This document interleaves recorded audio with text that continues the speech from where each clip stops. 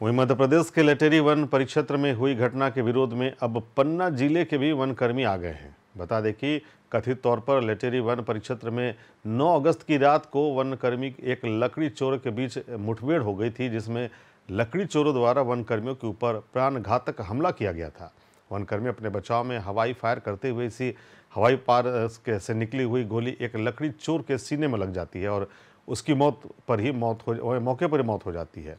जिसके बाद बगैर किसी जाँच पड़ताल के वन कर्मियों के ऊपर हत्या का मुकदमा दर्ज कर लिया गया था और लकड़ी चोरों को मुआवजा की राशि भी स्वीकृति कर दी गई थी, जिसके विरोध में आज सभी वन मंडलों के रेंजर एवं वन कर्मियों ने अपनी अपनी बंदूकें और कारतूस विरोध जताते हुए जमा कर दिए हैं।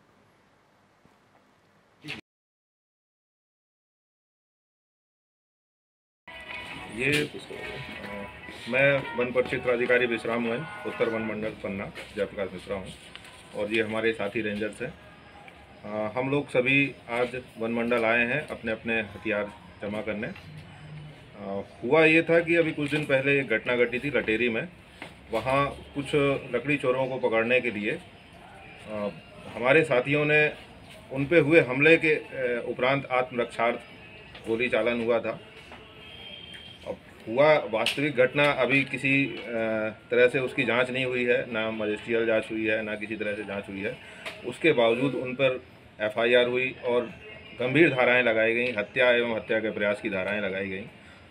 तो यदि हम अपने आत्मरक्षार्थ गोली चालन नहीं कर सकते हैं तो ऐसी स्थिति में हमें बंदूक रखने का कोई औचित्य समझ में नहीं आता। इसलिए हम लोग Madhya Pradesh forest ranger association के आह्वान पर अपनी सारे हथियार वन मंडल कार्यालय में जमा करने आए हुए हैं। लटेरी में जो भी नौ तारीख को जो घटनाक्रम हुआ है, उसके बाद हमारे स्टाफ ने बगैर न्यायिक जाँच के किसी भी स्टाफ को सीधा एफ़ एफआईआर प्रकरण पंजीबद्ध हुआ है। तो उसी के विरोध में हमारे कर्मचारियों ने अपना एक विरोध प्रदर्शन के रूप में एक शस्त्र जमा कराया है कि बगैर न्यायिक जाँच के, जो भी उसमें हो, न्यायिक जाँच होना चाहिए। उसके बाद आप एफआईआर प्रकरण पंजीबद्ध करें इसी संबंध में आज सभी कर्मचारियों ने और एवं रेंज ऑफिसर्स ने अपने अपने शस्त्र जमा कराए हैं वनमंडल कार्यालय में।